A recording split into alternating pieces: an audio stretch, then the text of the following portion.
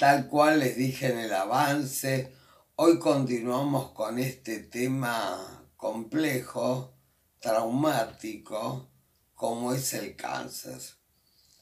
Como decía nuestra invitada de hoy, la psicoanalista Dorit Bush, que es psicoanalista y psicosomatóloga, vamos a trabajar este tema desde estos dos puntos de vista y realmente creo que puede ser una gran ayuda para el paciente y para los médicos.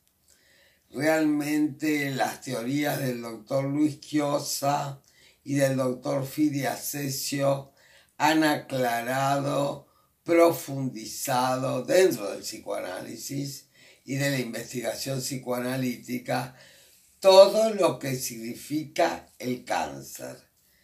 Vamos a escuchar ahora en este diálogo fluido, claro, precioso, con la psicoanalista Dorit Buch, que pertenece a la escuela del doctor Luis Quiosa y realmente ha investigado mucho y va a ser un placer tenerla realmente para este tema tan, tan desgraciado. Luego de la pausa vamos al encuentro con la psicóloga psicoanalista Dorit Bush.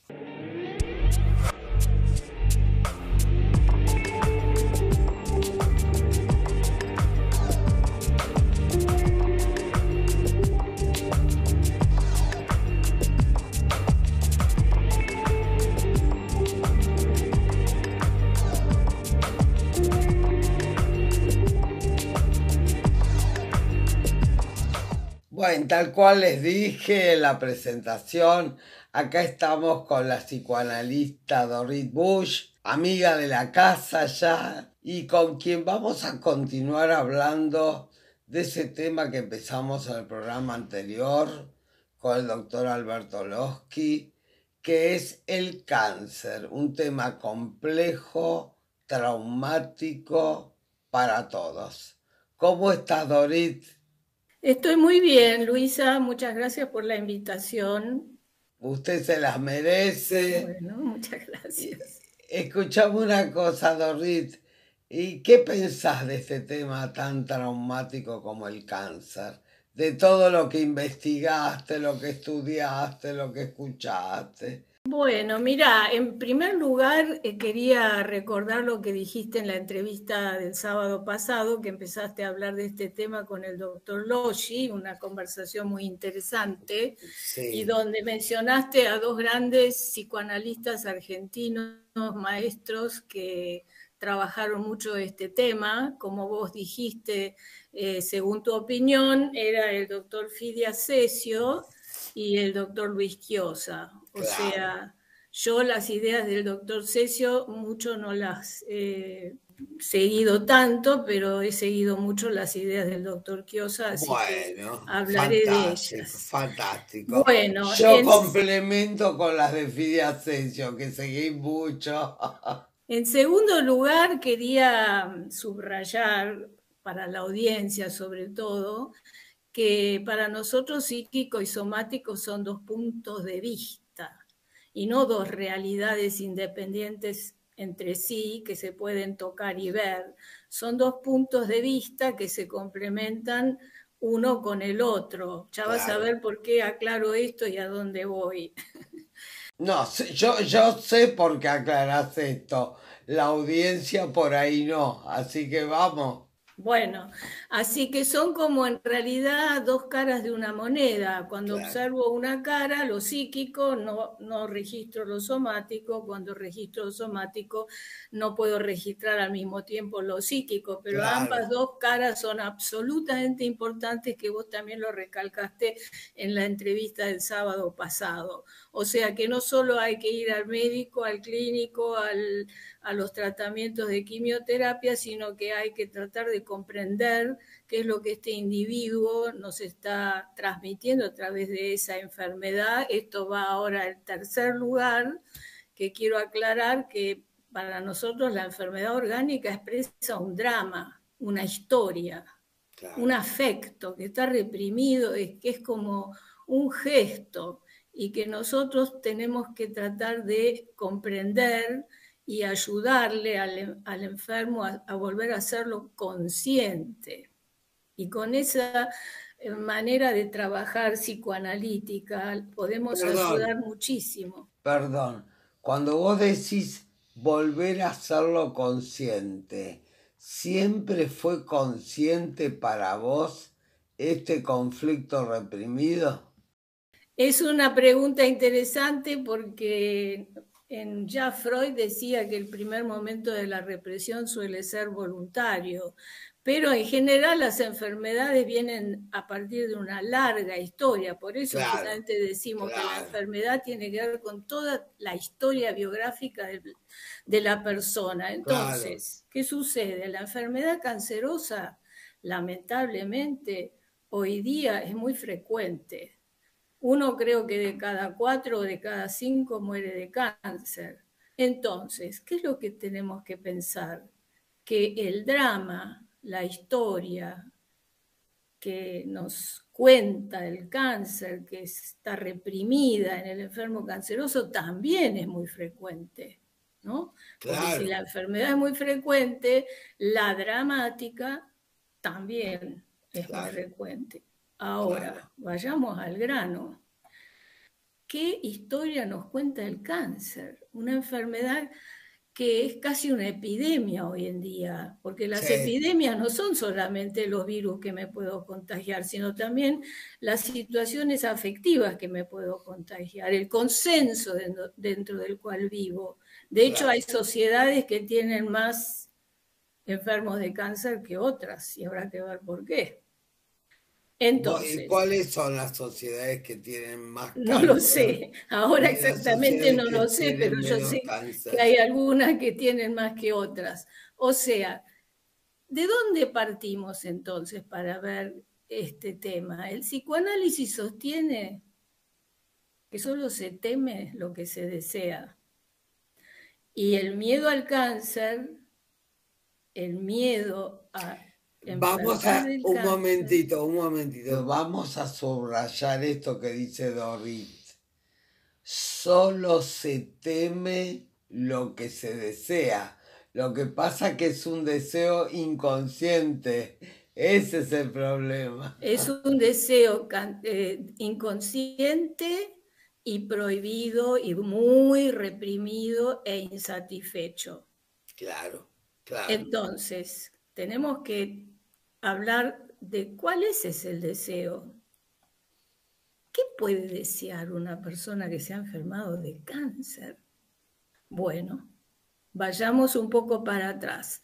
El cáncer, ustedes saben que es un crecimiento celular indiferenciado, ilimitado, descontrolado, que no se conforma al plan de los órganos y tejidos diferenciados que constituyen al individuo humano jerárquicamente estructurado. Claro. El cáncer es un conjunto de células que algo así como hacen la suya, que ya no obedecen a las restricciones impuestas por el organismo pluricelular. Además, es muy interesante, Luisa, porque a lo largo de toda la vida, nuestro sistema inmune destruye células que podrían eventualmente... claro, ser atípicas, claro. Claro, pero fíjate, mira esto que es muy interesante, un buen día en un buen órgano, porque no en cualquier lado, esta, esta mm, destrucción no, no, tiene lugar. Esta destrucción inmunitaria natural, natural. Algo así como el sujeto inconscientemente tolera que en el riñón, que en el pulmón, que donde sea el órgano que va a ser afectado, la célula empieza a hacer su crecimiento tan anómalo, tan invasor, tan indiferenciado. A veces, cuanto más indiferenciado el cáncer, más grave es, vos sabés eso. Claro, claro. Entonces, hay que pensar que hay una complicidad inconsciente en el sujeto Porque, ¿qué pasa? Que ahí tenemos que pensar que se expresa la eh, fantasía cancerosa combinada con la fantasía del lenguaje del órgano que estará afectado, porque no es lo mismo un cáncer en el riñón que un cáncer en el pulmón, que un cáncer, no sé. En el hígado. En el hígado, ¿no? El páncreas. Claro, todos cánceres diferentes que implican historias a su vez con matices diferentes. Pero entonces tenemos que preguntarnos qué pasa allí. Ahora, me gustó mucho, perdón, esta palabra que utilizó Dorit, que es complicidad. Hay una complicidad y esto pone de la nuca a la gente en general cuando uno habla de esta complicidad inconsciente entre la manifestación del cáncer y sus deseos inconscientes. Esta palabra la subrayo, Dorit. Claro, pero fíjate, Luisa, que en realidad abre una esperanza cuando pensamos que algo tenemos que ver. Porque si nada tengo que ver, y bueno, estoy en las manos de los vientos que soplan, de la quimioterapia que me hagan, de los remedios que me den. Pero si tengo la posibilidad de bucear adentro mío, que yo algo estoy manifestando a través de esta enfermedad, entonces, en la medida que una persona muy capacitada en estos temas me puede ayudar a hacerlo consciente, no solo que el cáncer puede mejorar, la quimioterapia va a tener mejores efectos, menos efectos secundarios, si hay que operar el posoperatorio va a ser mejor, en fin, una cantidad de cosas que en realidad hacemos bien buen negocio cuando empezamos a pensar de que algo tenemos que ver. ¿Y cómo se investiga? ¿Cómo, cómo se investiga? ¿Cómo se investiga?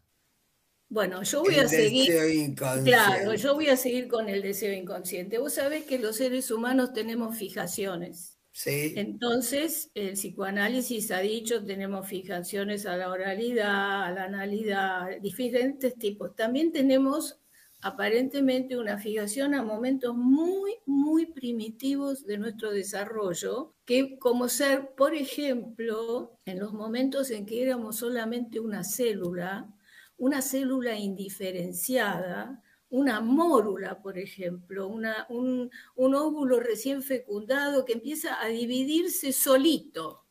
De uno se hace dos, de hace cuatro, se hace ocho, que es lo que se llama la reproducción asexuada, o sea, se reproduce consigo mismo.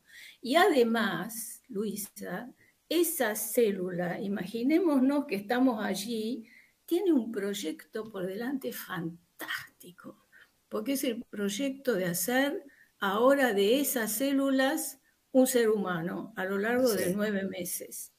Claro que sí. Entonces, son células que de alguna manera son multipotentes, se multiplican, crecen en muy poco tiempo y materializan, como dije, un proyecto increíble. Entonces, ¿qué pasa? Que a veces en la vida, que todos tenemos fijaciones en ese periodo de tiempo, que también se puede entender desde el punto de vista de lo que mencionaste en la otra entrevista, que es el narcisismo. O sea que esa manera de reproducirse con uno mismo en la vida postnatal se puede ver ejemplificado en cuando yo tengo un vínculo muy cercano con alguien que se parece mucho a mí, que ni siquiera tiene que ser un vínculo incestuoso, ni que cometan incesto, ni nada, pero se satisface allí una situación afectiva que es muy importante y que es muy placentera. Imaginémonos dos hermanas que viven juntas, que son muy parecidas una a la otra, y que para una es casi como estar con ella misma cuando está con la hermana. Claro. Bueno, ¿qué pasa? Supóngase que esta hermana se va de viaje a Australia. Decidió irse de este país como pasa con tanta gente ahora. Sí. Y nuestra, nuestro personaje se queda sin esa posibilidad de descargar toda esta fantasía, toda esta vivencia, toda esta situación. Todo este vínculo simbiótico con la hermana, todo ese vínculo intersticial prácticamente con la hermana. Además, seguramente muchas veces es en la mitad de la vida, donde ya no tenemos proyectos nuevos. Entonces, ¿qué sucede? Estoy simplificando todo muchísimo porque en media hora poner toda la teoría es muy difícil. Hace una regresión a aquellas épocas en donde, como dije hace un rato, éramos todo potencia, todo desarrollo, toda creatividad, además conmigo misma, que podríamos hasta decir era casi como una situación que se podría entender como simbolizando algo, un coito hermafrodita. ¿Viste, Luisa, que hay, muchos animales? Yo pensé, yo pensé en la partenogénesis de las abejas, por supuesto, en la autorreproducción. ¿Querés algo más narcisista que eso? Es narcisismo primario. Entonces, cuando digo que es la activación de un deseo, es la activación del deseo de regresar, de volver. Pero ¿qué pasa? No se puede volver, ¿no? Es una tentación, pero lamentablemente no podemos volver a esas épocas. Entonces, toda esa... Perdón, uno vuelve o el deseo está de volver a esa época por la desilusión, la decepción, la frustración de esta hermana que se le fue a Australia. Así es, pero es inconsciente, ella no sabe que tiene ella, de volver ahí. E, ella no sabe, pero el inconsciente sí sabe. Claro, entonces ahí empieza de pronto una célula a funcionar como funcionaba aquella vez el óvulo, pero lo que pasa es que ahora no es óvulo, ahora es tumor. Ahora es un proyecto que, que va para el lado de la destrucción, no va para el lado de, la construcción, no va para el lado de hacer un ser humano divino que van a hacer a los nueve meses. Entonces, esta es la, esta es la fantasía central que yo quería transmitirle, tratando de escribir cuál puede ser el deseo. ese es el deseo. ya, Que son además relaciones eh, muy íntimas, muy intensas, ¿no? Eh, por ejemplo... Profundas, son viscerales, son primarias. Por eso vos eh, mencionaste, todo el mundo hoy en dice que el, que sufre un cáncer está sufriendo un duelo, pero es un duelo que tiene características muy particulares, porque es el duelo por una persona, por un vínculo, por una situación donde se jugaba esto, ¿no? Claro, donde se jugaba esto, que es como yo que estoy tan enamorada de mi hijo de alguna manera, ¿no? Estoy enamorada. Las madres nos enamoramos. Bueno, la analogía entre la gestación del tumor y la gestación del bebé la hizo Freud. Esa analogía la hizo Freud. ¿Y sabés qué pensaba yo? En vez de un bebé maravilloso, aparece el bebé de Rosmarie ¿Vos te acordás de esa película maravillosa? no me acuerdo bien de la. Me acuerdo de que había esa película, pero no me acuerdo. El diablo, monstruo, eh, los brujos, las brujas, los miedos, los terrores en el embarazo, que están asociados a este narcisismo primitivo, ¿no? Claro, este es un narcisismo, porque hay narcisismos buenos y hay narcisismos malos. Claro, claro. Porque el narcisismo bueno es el amor saludable por uno mismo, donde vos te tratás bien que a veces tratarse bien incluso es renunciar a algo para que se lo lleve otro, por ejemplo, para decirlo de alguna manera. ¿A qué te referís? Que te y bueno, porque... ¿En qué pensaste? Y no, no sé, quería ejemplificarlo de alguna manera, que no es ese, no es que uno se cuida bien cuando está siempre yo, yo, yo, yo, yo, no. uno se cuida bien cuando cuida al otro también. Pero hay un narcisismo malo, hay un narcisismo maligno que es ese que, que te hace encerrarte. Va para adentro, ante la primera pizca o alguna gente, hay de todo, ¿no? Ante la primera frustración es capaz de enfermarse y hay gente que necesita de una sucesión de frustraciones, decepciones, con gente, trabajos, proyectos fundamentales para cada uno de nosotros. Por ejemplo, Losky dijo algo muy bueno, que es el asunto que todos sabemos a quién perdemos, pero no a qué perdemos. ¿Qué Eso ya lo dijo Freud en Duele Melancolía. claro, es una melancolía que toma el cuerpo como yo. En vez de caer la sombra del objeto sobre el yo, cae la sombra del objeto sobre el cuerpo.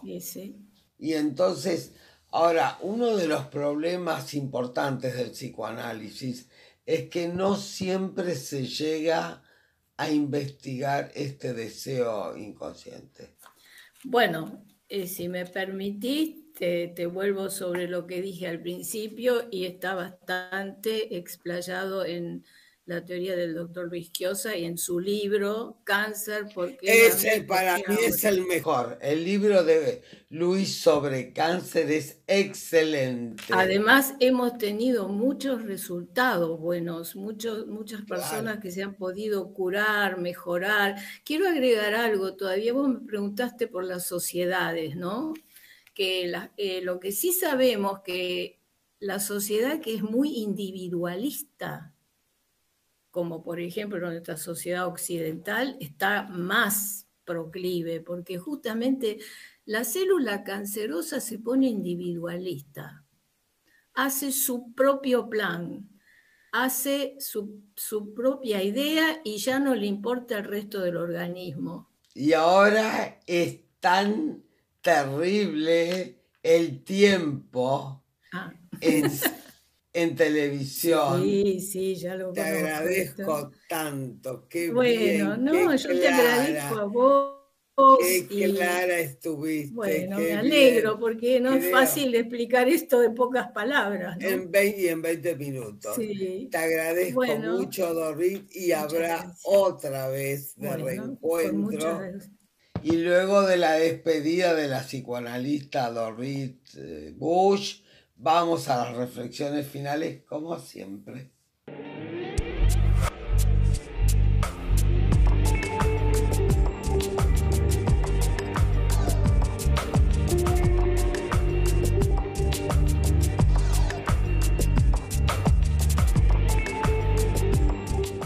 Tal cual les dije en la presentación, hoy vamos a tener un diálogo claro, lúcido, preciso y profundo. Y como habrán escuchado, el diálogo fue tal cual lo presenté. Realmente la psicoanalista y psicosomatóloga Doris Bush ha hecho una presentación en este diálogo psicoanalítico desde el punto de vista psicosomático y desde el punto de vista psicoanalítico las dos caras de la misma moneda, como decía Dorit. Realmente por un lado se ve el cuerpo, por el otro lado se ve el psiquismo. ¿Y qué psiquismo encontramos en el cáncer? Un psiquismo primario, un psiquismo de gestación, un psiquismo de partenogénesis donde, como yo agrego ahora, no hay ley. Las células pierden la ley, transgreden la ley y empiezan a multiplicarse en una gestación que según Dorit, que yo comparto, este deseo inconsciente es cómplice inconsciente del desarrollo del cáncer esta enfermedad tan traumática que realmente se puede investigar Y como habrán visto en el Instituto Luis Quiosa de Weizsäcker, han curado mucha gente, han mejorado, se mejora el tema de la quimioterapia, se mejora el tema de la evolución, se mejora el tema de la inmunidad. Yo pienso, por mi parte, que no es fácil investigar este deseo inconsciente y encontrarlo y hacerlo consciente. ¿Por qué? Porque es muy primitivo, es muy primario, es inconcebible para la conciencia actual. Entonces, al ser inconcebible para la conciencia actual, choca, se da de patadas esta investigación que es tan profunda. El ejemplo que nos trae Dorit de las dos hermanas que conviven hasta la edad media de la vida y una se va a Australia y la otra genera un cáncer. Siempre, como decíamos en el programa anterior, siempre hay una pérdida que gatilla la enfermedad, una historia, como decía Dorit. No todo el mundo reacciona igual frente a las pérdidas, no todo el mundo se enferma de cáncer, pero esta pérdida es de una relación especial, como yo la denominé hoy en un neologismo último, es una relación intersticial. ¿Qué es intersticial? Es encarnada, es simbiótica, es desde las células que se estaban en relación estas hermanas.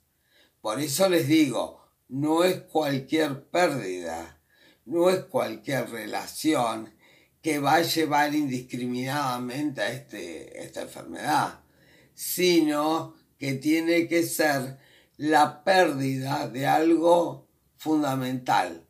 Como decía el doctor Freud, que trajo el doctor Loschi, no es quién se pierde, sino qué se pierde.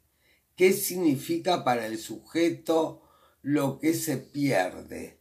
Dorit dice que hay una regresión a una situación autogestante, como el comienzo de la gestación, que no es tan autogestante para mi gusto, ya que está el espermatozoide con el óvulo. Bueno, siempre hay diferencias de pensamientos, ¿no es cierto?, entre los mismos colegas, pero sale a luz temas de esperanza, una esperanza, un aporte desde el psicoanálisis, la psicosomatología, sobre esta enfermedad tan terrible de epidemia. Hay mucho cáncer ahora.